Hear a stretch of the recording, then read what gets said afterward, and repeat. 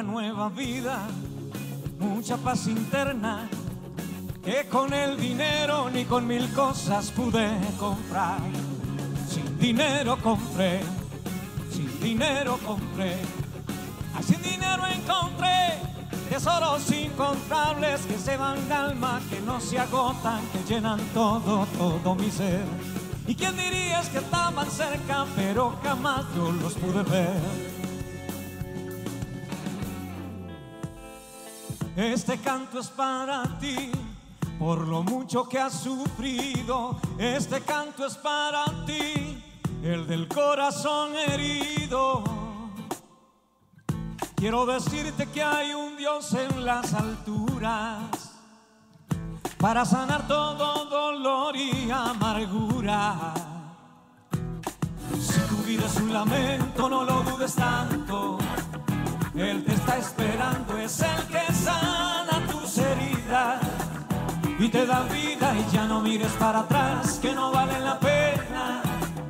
Da la media vuelta que Él te da una vida nueva. Él tiene el poder.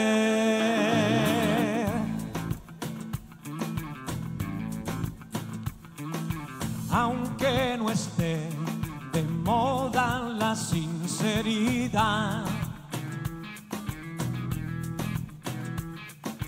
No dejaré de hablar nada más la verdad.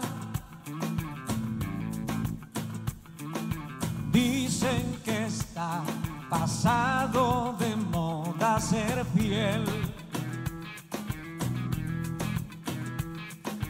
Yo seguiré amando a la mujer hace 30 años nada más. Hoy en día lo malo llaman bueno. Yo voy a seguir contra la corriente. Y aunque a lo malo llamen bueno, malo siempre será. Y aunque a lo malo llamen bueno, malo siempre será.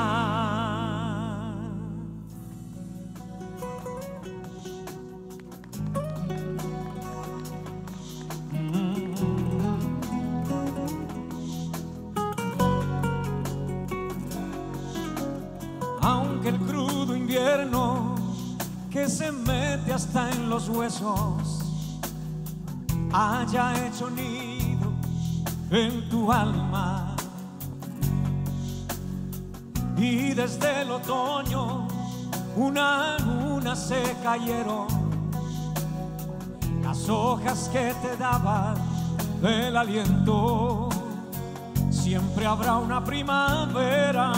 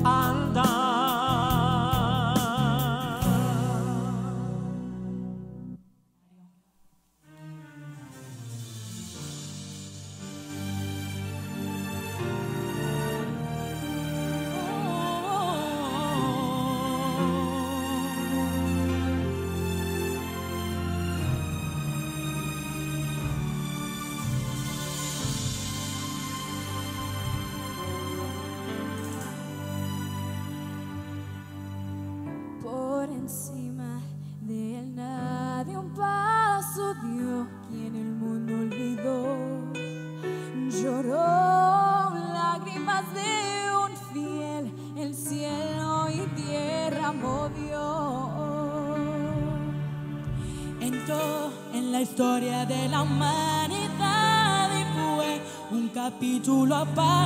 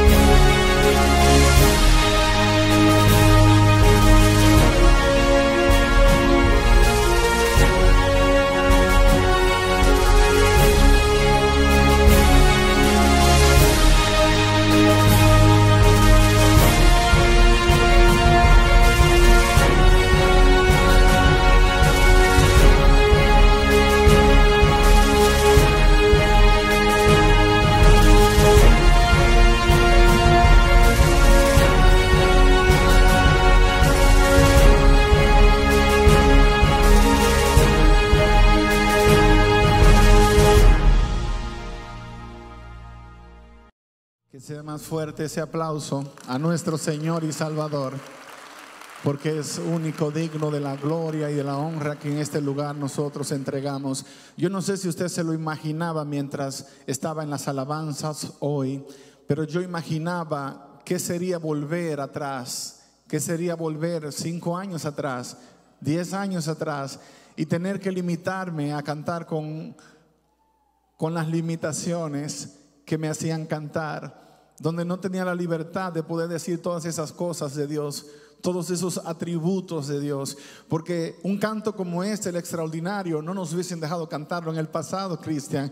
Nos, nos tuviésemos haber tenido que colar en otro lugar para escucharlo, pero hoy lo podemos cantar porque somos libres en Cristo Jesús.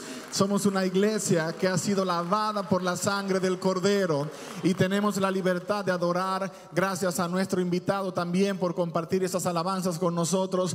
Creemos que eso es lo que hace especial esta iglesia, una iglesia que tiene un conjunto de mensajes poderosos, conjugados, combinados. Tenemos el privilegio de ser un pueblo que sigue la Biblia como la Biblia es presentada por Jesucristo. Y quiero que entiendan esto. El Señor Jesús dijo, yo soy el camino, yo soy la verdad, yo soy la vida. Toda iglesia que quiera conocer la verdad tiene que buscarla a través de la persona de Jesucristo. No puedes creer que la verdad está encajada en un paquete teológico o que la verdad tiene características ah, exclusivas de un grupo religioso. No, la verdad es tan simple y llanamente presentada en la persona de Jesucristo. ¿Tú quieres saber cómo vivir practicando la verdad? Préstale atención a Jesús. Camina como Jesús caminaba. Di lo que Jesús decía. No hagas lo que Jesús no hacía. Sigue el ejemplo de Jesús. Por eso él dijo, ejemplo yo les he dado, para que como yo hice, ustedes también hagan. Y te vas a dar cuenta que vas a vivir en la verdad y que no tendrás una barrera jamás que te separe de los otros hermanos, que puede ser que practican algunas cosas diferentes, puede ser que creen algunas cosas distintas, pero no los convierte eso en nuestros enemigos, no los convierte en nuestros enemigos, son nuestros aliados, porque somos el pueblo de Dios, un pueblo que levanta al Cordero, no que levanta una religión o una denominación, levanta a una persona, a Cristo Jesús. La palabra de Dios, vamos al libro de Jonás capítulo 1 y vamos a ver qué es lo que el Señor tiene para nosotros en esta hora. Jonás capítulo 1, comenzando desde el versículo 1 en adelante. Voy a leer en la versión Reina Valera del año 60. Dice la palabra, vino palabra de Jehová a Jonás, hijo de Amitai, diciendo, levántate y ve a Nínive, aquella gran ciudad, y pregona contra ella porque ha subido su maldad delante de mí. Y Jonás se levantó para huir de la presencia de Jehová a Tarsis y descendió a Jope y halló una nave que partía para Tarsis y pagando su pasaje, anote bien esta parte, pagando qué cosa? Su pasaje. Entró en ella para irse con ellos a Tarsis, lejos de la presencia de Jehová. Pero Jehová hizo levantar un gran viento en el mar, y hubo en el mar una tempestad tan grande que se pensó que se partiría la nave. Y los marineros tuvieron miedo y cada uno clamaba a su Dios y echaron al mar los enseres que había en la nave para descargarla de ellos. Pero Jonás había bajado al interior de la nave y se había echado a dormir. Y el patrón de la nave se le acercó y le dijo, ¿qué tienes, dormilón? Levántate y clama a tu Dios. Quizá Él tendrá compasión de nosotros y no pereceremos. Y dijeron cada uno a sus compañeros, venid y echemos suertes para que sepamos por causa de quién nos ha sobrevenido este mal, nos ha venido este mal. Y echaron suertes y la suerte cayó sobre Jonás. Entonces le dijeron ellos, decláranos ahora ¿Por qué nos ha venido este mal? ¿Qué oficio tienes y de dónde vienes? ¿Cuál es tu tierra y de qué pueblo eres? Y él les respondió, soy hebreo. Número uno. Número dos, temo a Jehová. Número tres, Él es el Dios de los cielos que hizo el mar y la tierra.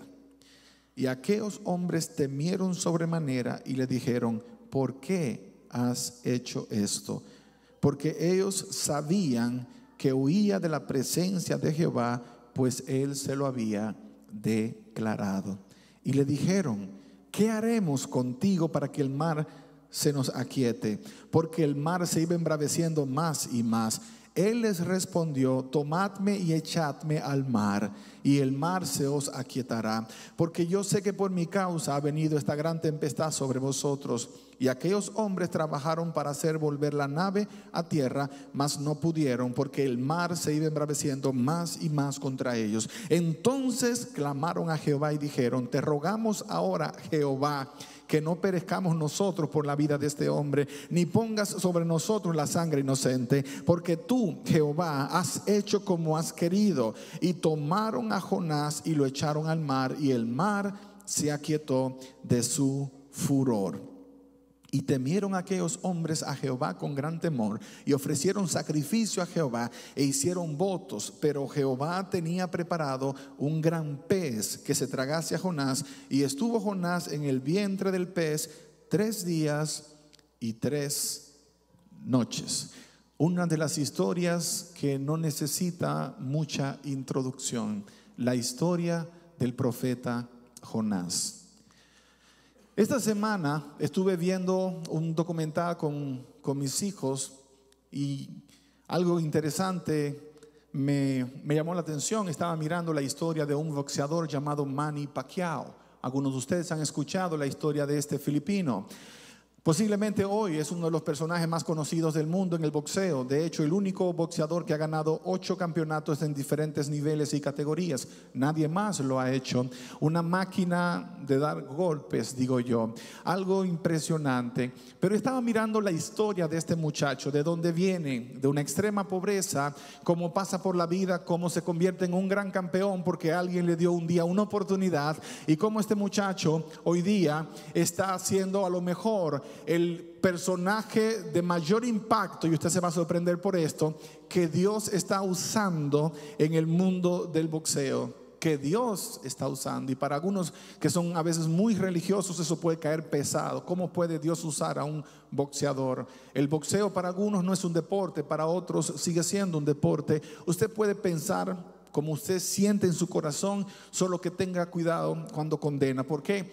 Porque se va a sorprender que este boxeador ha predicado más de Dios que muchos predicadores y pastores en toda una vida. Un boxeador. Un boxeador que en su corazón piensa que él es un guerrero, que Dios escogió para llevar un mensaje por el mundo y que todo lo que él logra lo logra gracias a Dios y que con sus caídas y sus errores donde Dios lo sacó y lo levantó, él entiende que ahora más que nunca debe aferrarse a Dios y testificar en favor de Dios. Cuando él termina de sus peleas, se va a su país, donde él es un congresista y predica el Evangelio para miles y miles de seres humanos que jamás irían a escuchar a un predicador, pero sí a un boxeador que predica.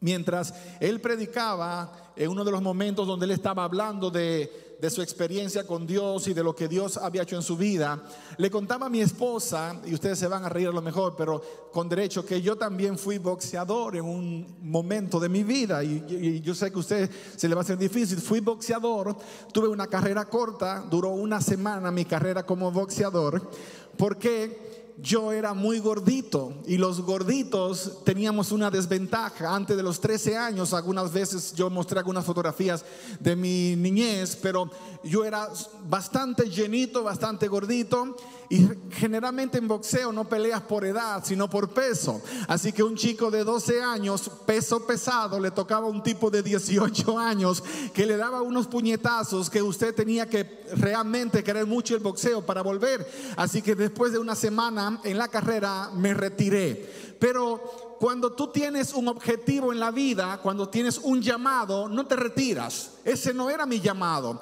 Yo sabía que Dios no me había llamado para ser un boxeador. No me había llamado para boxear, me había llamado para otra cosa y en el camino yo entendería para qué Dios me había llamado. Pero eso es lo que quiero hablar hoy contigo, el llamado que Dios te hizo, el llamado de Dios para tu vida. Jamás serás feliz jamás estarás completo, completa. Jamás podrás tener paz completa a menos que te atrevas a hacer lo que Dios ha pedido que hagas con tu vida para Él. Jamás, jamás. Cuando nosotros entendemos que Dios es soberano, entendemos que Dios puede hacer lo que Él quiera porque Él es el jefe, Él es el soberano Dios. Él puede hacer que llegues al lugar donde Él quiere que tú llegues, aunque tú decidas irte por otro camino. Si no, preguntémosles, vamos a preguntarle a Jonás. Jonás era un profeta de Dios. Era un profeta que por alguna razón no estaba contento con el llamado que Dios le había dado. Así que él decidía si iba o no iba, si hacía o no hacía. Y un día Dios le da un mensaje claro y le dice, Jonás, quiero que por favor te prepares, vas a ir a predicar una campaña evangelística a Nínive, vas a ir a la ciudad más corrupta de la tierra, te vas a ir a predicar durante un periodo de un mes y un poquito más. Quiero que empaques todo, llévate tu proyector, tu equipo de adoración, para que hagan un buen impacto allá y que esa gente se convierta. Y Jonás comenzó a pensar en todos los detalles y dijo, no Señor, yo para, para allá no voy. Lo que va a pasar es que tú me mandas para que yo predique y luego esa gente se arrepiente y luego lo que tú dijiste que vas a hacer, que si no se arrepienten nos vas a destruir, no nos vas a destruir y el mentiroso fui yo y se van a burlar de mí. Yo sé cómo tú eres, así que sin decir mucho, Jonás empacó su mochila, agarró sus cosas y dijo, me voy en dirección contraria. Y nota cuán tonto es el ser humano, cuán tonto es el ser humano. Dios le ofrece una misión con financiamiento incluido.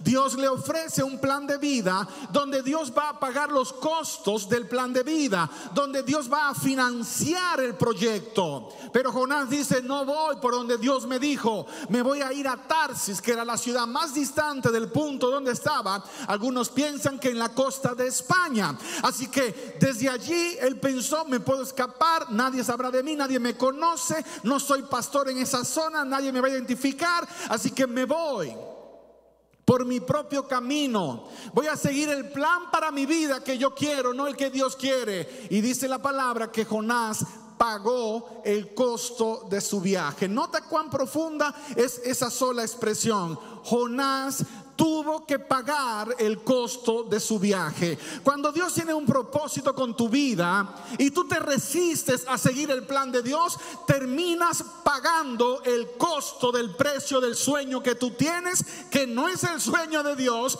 y como tal fracasará y terminarás gastando tus recursos y no alcanzando el objetivo que tú tenías con tu vida. Cuando tú te vas en dirección contraria a Dios, terminas pagando los costos del viaje. Cuando te vas en la dirección que Dios te manda, Dios siempre va a financiar el proyecto que tiene con tu vida. Solamente tienes que atreverte a hacer lo que Dios te está pidiendo que hagas. Cuando Dios te da una misión, hace el cheque para financiar la misión que tiene contigo. Busca los recursos y fondos para llevarte al lugar que Dios quiere que tú vayas. Mas cuando tú decides hacer lo contrario, te pasa como le pasó a Jonás, terminas pagando los costos de tu viaje al fracaso. Se montó en la embarcación, el viaje comenzó, y dice la palabra que en medio del mar se desató una tormenta. Quiero que comprendas esto. Hay tormentas que se van a desatar en las vidas de aquellos que están haciendo la voluntad de Dios. Si no, pregúntale a Pablo. Hay tormentas que se van a desatar en las vidas de aquellos que le sirven a Dios. Si no, pregúntale a los discípulos de Jesús y al mismo Jesús. Hay tormentas que van a llegar a tu vida, aún tú le estás sirviendo a Dios. Pero la gran diferencia es que esas tormentas no pueden hundir tu embarcación porque tú le estás estás sirviendo a Dios. Cuando tú y tu familia le sirven a Dios, vendrán grandes tormentas, pero tu familia prevalecerá porque está sostenida por la mano del Dios Todopoderoso. En cambio, cuando tú te vas en dirección contraria al plan de Dios, las tormentas que te atraparán en el camino tendrán poder para hundirte a ti y a todos los tuyos. He conocido mucha gente que por ir contrario al plan de Dios para su vida ha naufragado conozco mucha gente que por ir en dirección contraria al plan de Dios para su vida ha fracasado. Pero también conozco aquellos que por atreverse a creerle a Dios, no solamente han triunfado porque tienen mucha plata en el banco, porque para mucha gente mucha plata en el banco es sinónimo de éxito y eso no es cierto. Nunca pienses que el dinero determina cuán exitoso tú eres, porque hay mucha gente con mucho dinero que solo tienen dinero y son miserables. Sus vidas no las cambiaría yo jamás, la mía por la de ellos, jamás. Y tú conoces mucha gente así. Jonás no comprendió que había un plan de parte de Dios para su vida y que su vida había sido escogida para ser una bendición para otras personas, pero se olvidó de bendecir a los demás y se concentró en el mismo. El egoísmo torpe que impregna el corazón de los seres humanos. Lo que a mí me gusta, lo que yo quiero, lo que me conviene. Si no es así, entonces no voy. Si no es como yo quiero, entonces no va a funcionar. Y a Dios, a Dios no le parece que es la mejor manera de pensar. Porque aunque no te parezca que es lo mejor, Dios es omnisapiente y Él sabe si es o no es. Aunque no te parece a ti que te conviene, si confías en Dios te darás cuenta que los que confían en Jehová no tienen temor al fracaso, que hay garantía de parte de Jehová para quienes se atreven a ir en dirección a la que Jehová marcó, no a la que tú quieres. Jonás no lo comprendió, por eso se fue. Y cuando él vio que el cielo se puso gris, dijo, va a llover. Así que fue y se buscó uno de los camarotes del barco en la parte de adentro, que evidentemente no eran de primera clase. Y allí durmió. Y vino la gran tormenta, una tormenta que Dios provocó, dice la Biblia.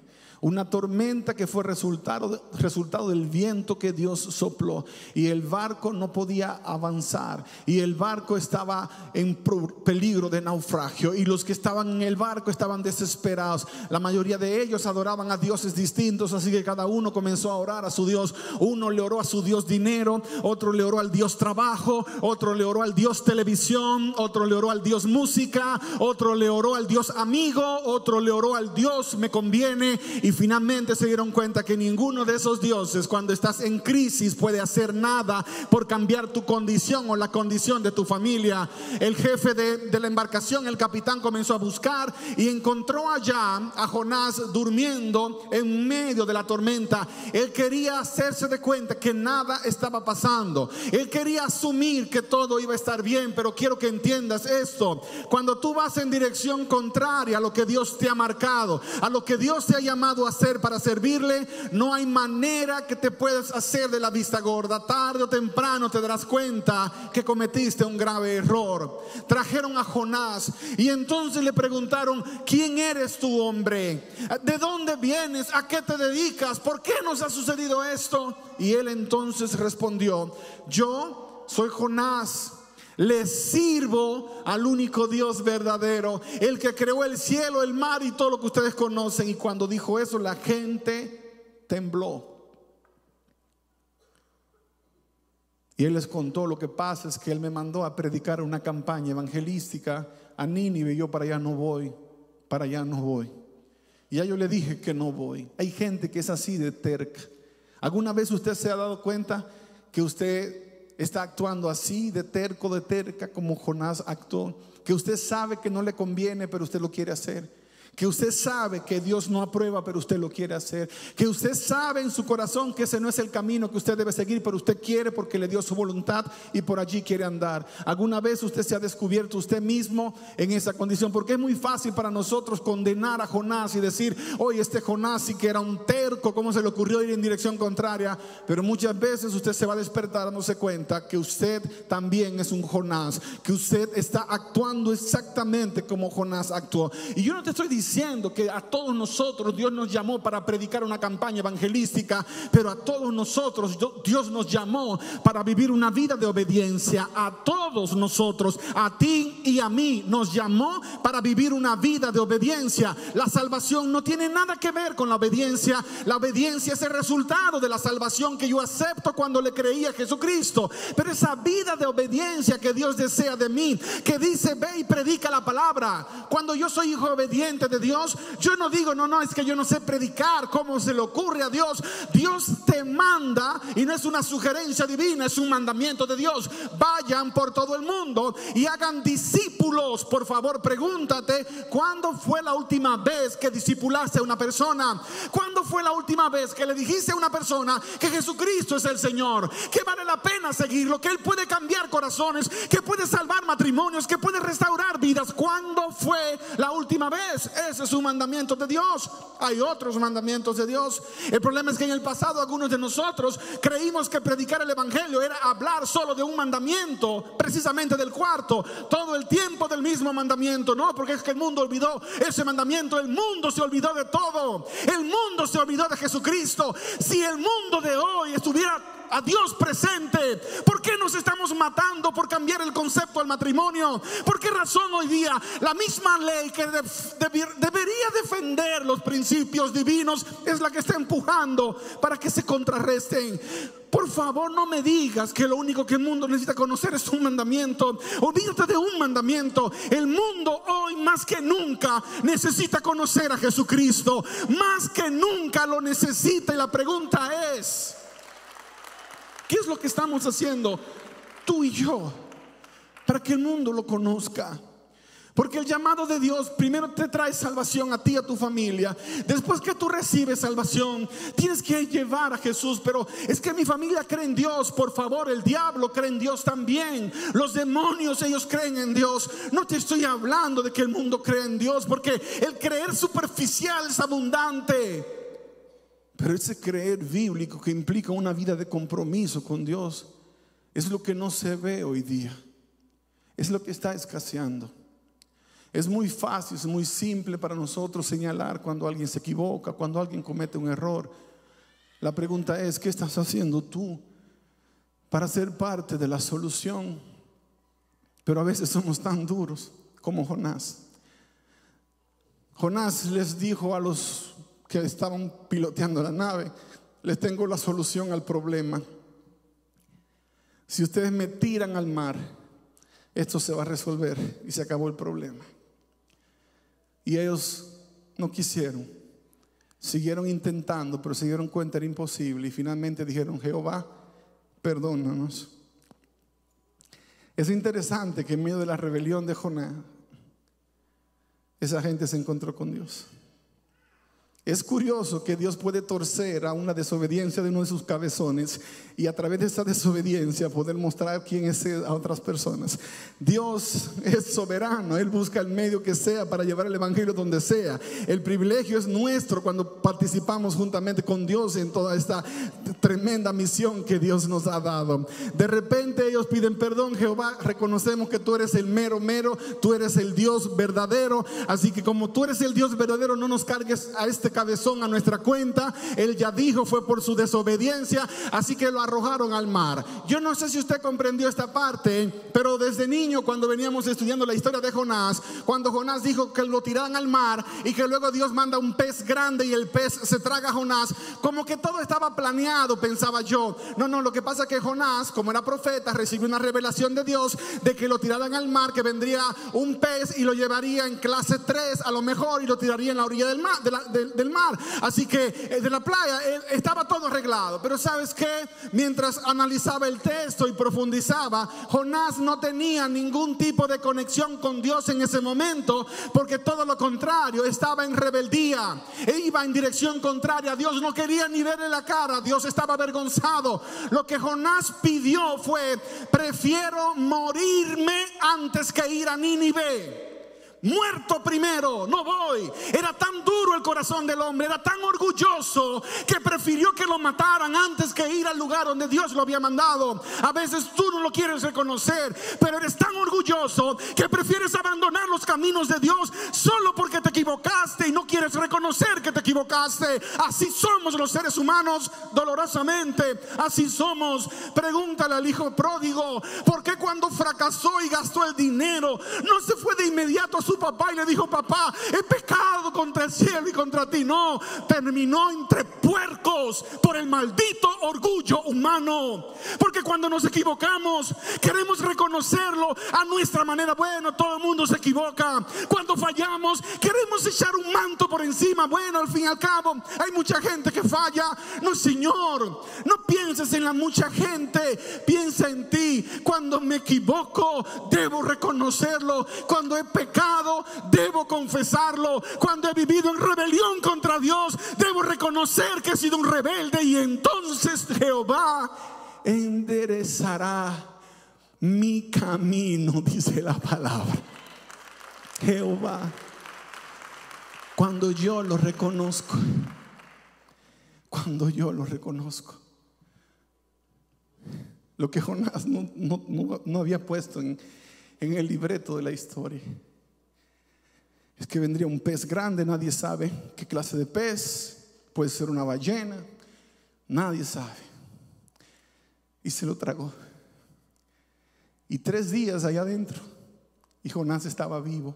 Algunos científicos dicen es imposible que un ser humano sobreviva tres días porque los jugos gástricos hubiesen despedazado.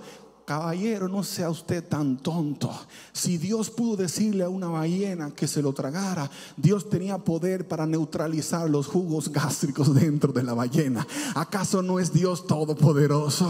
¿Acaso no puede Él hacer lo que quiera? Por, por eso es Dios. Él puede hacer lo que nadie más puede hacer. El problema nuestro es que siempre queremos usar la lógica. Si no lo puedo explicar, entonces no lo puedo aceptar. Debes parar esa forma de razonar, porque a Dios nadie lo puede explicar. A Dios solo tenemos que aceptarlo. Por eso Él pide fe. Fe. Allí dentro del vientre de la ballena. Me imagino que la ballena también había comido ese día. Me imagino que estaban los peces descompuestos. Me imagino que todo el residual que había estaba allí dentro de la ballena. Ahí estaba el profeta de Dios, el que pudo haber viajado en primera clase cuando Dios lo mandó. Ahora venía en clase no muy ejecutiva. Ahora venía entre los desechos de otros animales. Allí venía. Y fue allí cuando entonces, en medio de la humillación que eso trajo como consecuencia, que él se dio cuenta que no vale la pena pelear con Dios. Amados, no vale la pena pelear con Dios. Mi gente querida, no vale la pena pelear con Dios. Dios siempre va a ganar este pleito. Siempre va a ganar este pleito. Lo que tú y yo debemos comprender hoy día es que no tenemos que pasar por el valle de sombra de muerte o por medio de la humillación a la que el profeta tuvo que ir para conseguir que Dios cumpla su propósito con nosotros. Lo único que necesitamos es obedecer al Dios Todopoderoso. Hazle caso a la palabra de Dios, pero a la palabra de Dios. No te dejes chantajear, no te dejes envenenar la cabeza, no te dejes manipular. Esta mañana cuando veníamos acá me llamó alguien de una iglesia que está bajo nuestra responsabilidad y me dijo, una persona muy joven, me dijo, mire, pastor, le estoy diciendo que ah, la directora del departamento se fue y por lo tanto pues yo voy a ser la directora. Y le digo, bueno, eso tiene que ir al comité para que lo aprueben. Dice, bueno, si el comité no lo aprueba, entonces me voy de la iglesia porque me están ofreciendo en otro lugar. Le dije, hija, vaya tranquila, a donde usted tenga que ir, váyase. Dios no necesita esa clase de manipulación. Dios necesita gente que le quiera servir porque entiende que es un privilegio servirle al Dios Todopoderoso. No porque hay una recompensa, te voy a servir, pero págame viejo, porque si no, no vale la pena. No funciona así. Dios pagó por adelantado el precio de nuestra salvación. Garantizó vida eterna para cada uno de nosotros. Lo menos que podemos hacer es servirle a Dios incondicionalmente. Lo menos que podemos hacer. Quitar las condiciones.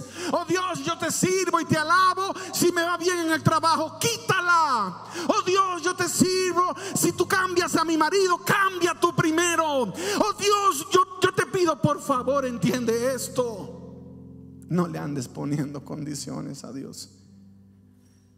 Aquí el único que tiene derecho a poner condiciones es Dios. A mí me es un privilegio poder tenerlo como mi Dios. Es un privilegio tenerlo como mi jefe. Es un privilegio servirle. Cuando tú comprendes que es un privilegio servirle a Dios, cuando Dios te diga, ve a la mesa que está al lado de la tuya en el restaurante y dile a esa gente que está allí que Dios está enamorado de ellos. Y que no te dé vergüenza. Ay Señor, ¿cómo se te ocurre? Me da vergüenza. Tú sabes que a mí no me gusta ni hablar. Cuando llegue el momento que tu amor por Dios sea más grande que tu vergüenza, entonces te darás cuenta cuán importante es Dios en tu vida. Cuando llegue el momento en tu vida, cuando tu fidelidad a Dios es más importante que tus propios intereses, te darás cuenta cuán grande es tu amor por Dios. Cuando llegue ese momento, te vas a dar cuenta cómo todo cambiará sin que tú tengas que pedir que cambie, porque Dios está interesado en cambiar las circunstancias que te rodean. Jonás tuvo que ir a cumplir la misión que Dios le dio, vomitado por un pez a la orilla del mar vomitado, vomitado. Tú tienes una de dos opciones. Tú puedes ir y cumplir la misión que Dios te dio. Oloroso, olorosa, bonito, bonita. O tú puedes hacerte el difícil. Y Dios que es el soberano, el dueño de tu vida, te va a llevar hasta ese lugar Dios va a agotar todos los recursos necesarios para que tú cumplas con la misión de tu vida. Dios va a agotar todos los recursos necesarios para que tú cumplas con la misión de tu vida. Todos. Y quiero que lo escuches bien hoy. Si Dios tiene que destrozar todo lo que tú tienes, si Dios tiene que desarmarte completamente para que tú cumplas la misión que Él tiene con tu vida, lo hará. Lo hará lo hizo conmigo. Lo hizo conmigo.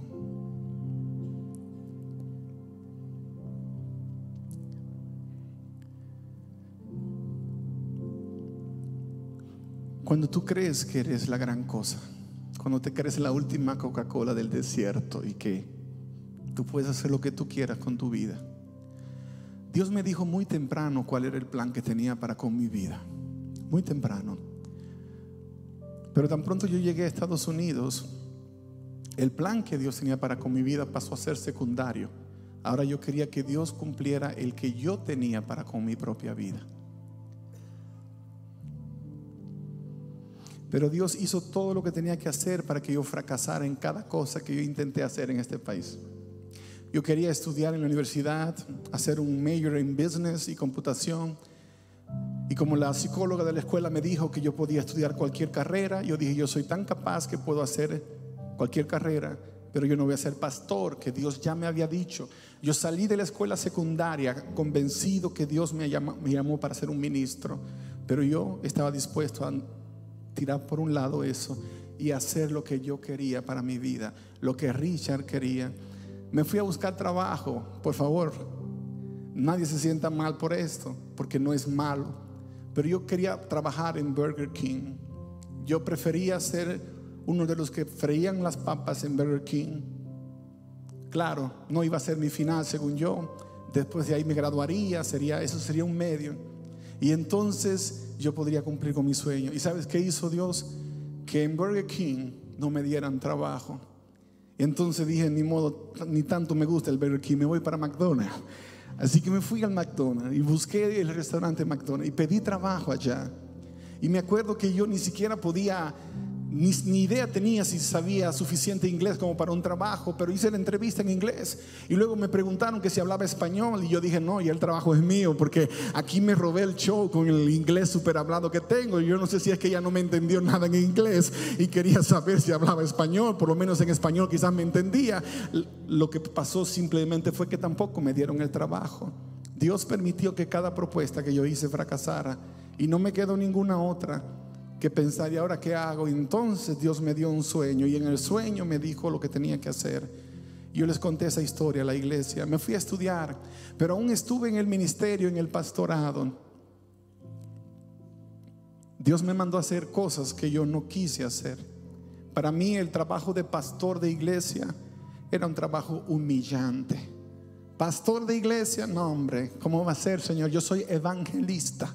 Los evangelistas viajamos en primera clase, vamos por el mundo, dormimos en hoteles cinco estrellas y podemos disfrutar de la parte bonita del evangelio sin tener que lidiar con los detalles. ¿Cuáles son los detalles? Una junta de iglesia, los chismes que se arman en las iglesias, aguantar la poca vergüenza de los miembros, todo eso estaba muy claro en mí. Eso es humillante, Padre. Yo para pastor de iglesia no. Así que yo corrí, corrí y decidí buscar la manera de estar solo y me mandaron de pastor y yo predicaba el sábado por la mañana, agarraba un avión a las 3 de la tarde y volvía el siguiente sábado a las 7 de la mañana. Era mi pasión, evangelismo. Y yo sabía que Dios me había llamado para predicar, pero para ser pastor de una iglesia no. Pero sabes qué? Yo estaba queriendo creer que no era Dios el que me estaba diciendo que sería pastor de una iglesia por el resto de mi vida. Y Dios me humilló hasta lo sumo. Y Dios me mostró mi humanidad y cuán bajo puede caer un ser humano cuando se separa de Dios y va detrás de su propio sueño. Y Dios me mostró que las consecuencias de mis acciones eran las que yo mismo había formado, creado, engendrado. Dios me lo mostró. Llegar a esta iglesia hace unos años atrás fue el último castigo divino para mí. Fue la última parte en el proceso para decir, eso es lo que vas a hacer. Esto es lo que vas a hacer el resto de tu vida. Y yo acepté el llamado de Dios. Y yo he predicado la palabra y quiero que entiendan, quizás esta parte es difícil comprender. Para un evangelista el trabajo es placentero y hasta más fácil porque tú preparas 30 sermones y predicarás tus 30 sermones por los próximos 25, 30 años. Y cuando un evangelista viene acá y usted escucha su mejor sermón, usted dice, wow, yo quisiera que ese sea el predicador de nuestra iglesia, porque qué sermonazo, nunca se ha predicado algo así en este lugar. Lo mismo me decían cada vez que yo llegaba de evangelista a una iglesia. ¿Por qué no se queda como mi pastor? ¿Qué predicador es usted?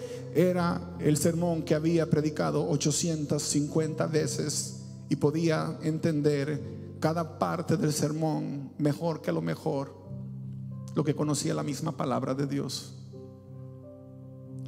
Pero cuando cada semana tú tienes que humillarte delante del Señor y decirle, Señor, dame palabra para este pueblo.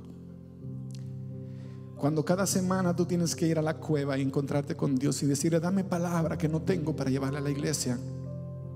Cuando cada semana tú tienes que poner tu ego a un lado, tu yo a un lado y decirle, Señor, yo necesito que tú me digas qué es el mensaje que tienes para el pueblo y yo lo voy a llevar y yo lo voy a dar.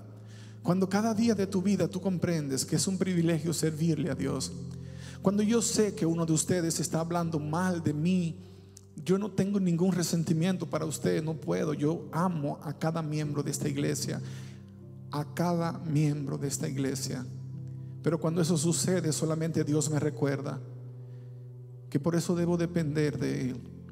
Porque mi trabajo en esta iglesia no depende de la aprobación o desaprobación de ustedes, depende de mi conexión con el Dios Todopoderoso.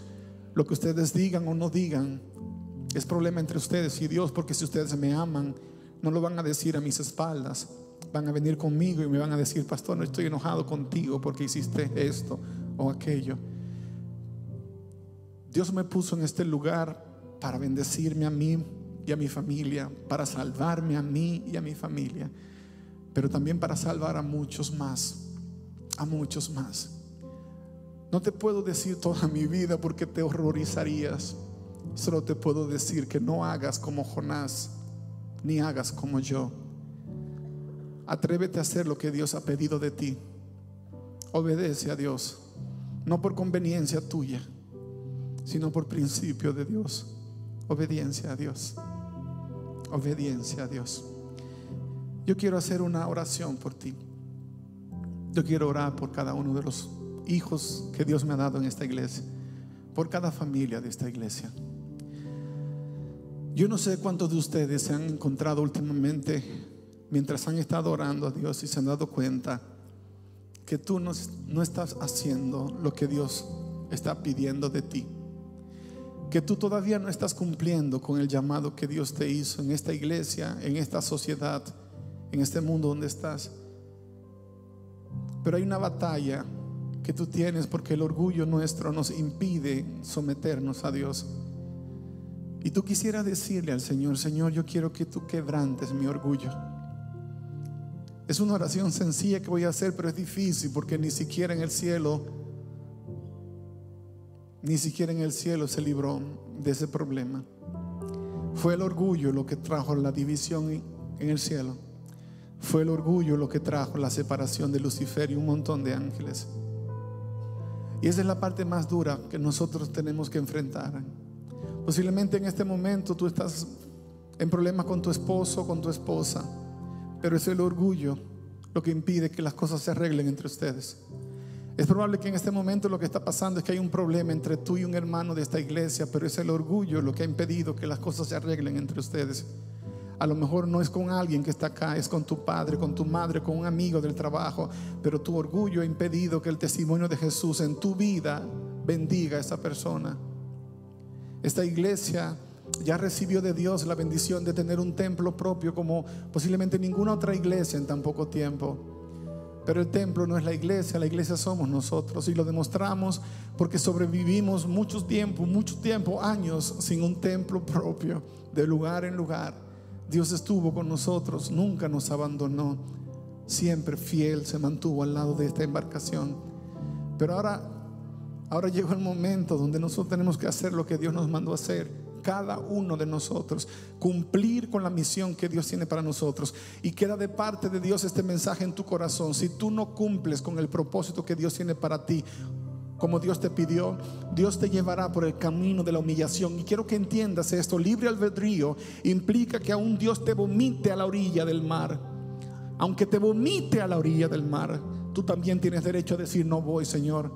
Mejor mátame, como dijo Jonás cuando estaba en el barco y Dios va a respetar, pero Él va a luchar hasta lo último, hasta el final. Y si al final el plan de Dios no se cumple en tu vida, no fue culpa de Dios, fue tu decisión, fue tu decisión. ¿Me dejarías que yo ore por ti y por tu familia? Para que Dios quite ese orgullo de tu corazón y de tu casa. Para que Dios traiga unidad entre tú y tu familia, entre tú y tus amigos. Pero especialmente para que Dios traiga unidad aquí en nuestra iglesia. Si me das permiso, levántate y ven conmigo aquí al altar. No tienes que levantarte porque te lo estoy pidiendo. Esta es una invitación muy clara. Si tú consideras que ese no es tu caso, no te levantes y vengas. Yo quiero orar para que Dios quebrante el orgullo que está impidiendo que el plan de Dios se cumpla en tu vida. Esa es mi oración. Y si en tu corazón tú sabes que es lo que está impidiendo que Dios cumpla su plan en tu vida, entonces yo te quiero rogar en el nombre de Jesús que te levantes de tu lugar y vengas aquí al altar conmigo que me des la oportunidad de orar por ti por tu familia. Yo me presento a mí mismo delante de Dios, pero también te presento a ti delante de Dios. Porque solamente cuando todos nosotros reconocemos cuál es nuestra parte, cuál es nuestra responsabilidad, qué es lo que yo no he hecho bien, qué es lo que yo no estoy haciendo como Dios espera, entonces cuando Dios comienza a hacer las cosas que decidió hacer, es cuando Dios comienza a bendecirnos, es cuando Dios comienza a prosperar todas las áreas de nuestras vidas. No hay nada que va a impedir que el plan de Dios se cumpla en ti. No hay nada que va a impedir que tú y tu familia puedan encontrar ese lugar maravilloso que Dios ha reservado, ese lugar especial que Dios ha estado luchando insistentemente por darte a ti. Pero ya los años pasaron y era tiempo de que aprendieras tiempo de que aprendieras. El mensaje de Dios para ti es arrepiéntete de corazón de tus malos caminos. Porque no hay pecado más grande que el orgullo. Porque donde hay orgullo, Dios no encuentra espacio. Padre, gracias. Gracias por tu palabra. Gracias por esta iglesia. Gracias por las familias que llegan con nosotros cada fin de semana para conocer de ti. Que ellos puedan entender que nosotros estamos buscando a Dios de corazón en este lugar. Que predicamos a Jesucristo y no una religión. Que predicamos la salvación tal cual tú la lograste por nosotros en la cruz del Calvario. Te entrego a cada hijo, Padre. Me entrego a mí mismo juntamente con la congregación Gracias por haberme traído a esta iglesia. Gracias por darme la oportunidad de servirte como un pastor. Gracias por haber hecho tantos milagros en mi vida. Yo pido que tú hagas en cada miembro de la iglesia igual o más. Trae liberación en este momento y quita, Padre Santo, ese maldito orgullo que nos aparta de ti, que nos impide hacer tu voluntad en nuestras vidas. Aplástalo, derrótalo y danos la garantía de que hoy comienza una nueva etapa en nuestras vidas, que comenzando este momento nuestras vidas escriben una nueva historia y no la escribo yo, no la escriben los miembros, la escribes tú, Padre, que sea la historia maravillosa de una vida de vencedores, de un grupo de hijos e hijas que han ido de victoria en victoria, de victoria en victoria. Yo lo pido, Padre, yo declaro bendición para cada hijo y para cada hija en el nombre santo de Cristo Jesús. Amén, Señor. Amén, Señor. Vamos a declarar eso, que lo creemos de todo corazón, que esa tarea maravillosa que Él nos ha dado, Él nos ha habilitado a hacerla también. Vamos a cantar. Es el pueblo de Dios. Somos un pueblo especial, llamados para las virtudes de aquel que nos llamó a su luz. Somos el pueblo de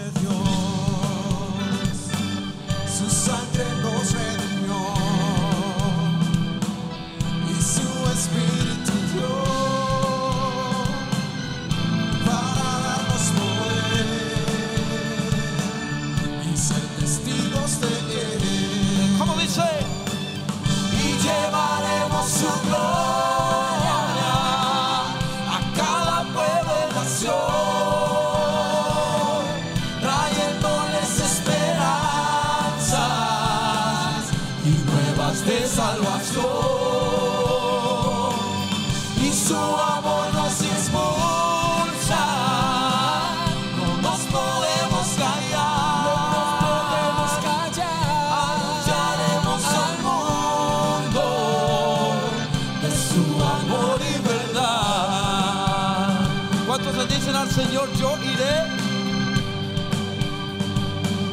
Somos el pueblo de Dios. Somos el pueblo de Dios. Somos un pueblo especial. Somos un pueblo especial. Llamados para anunciar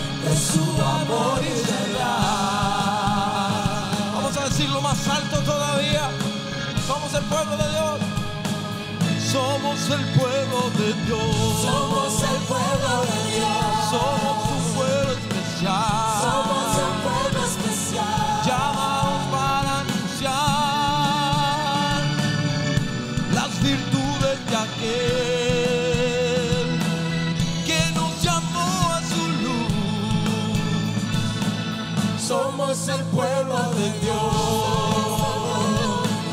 Somos nos redimió